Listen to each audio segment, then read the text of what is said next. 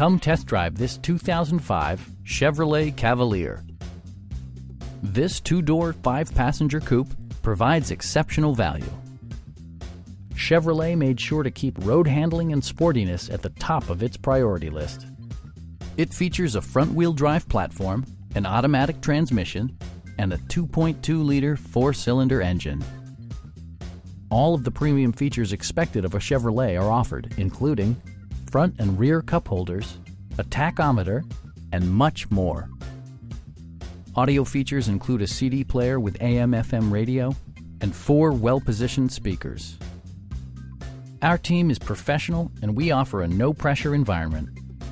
We are here to help you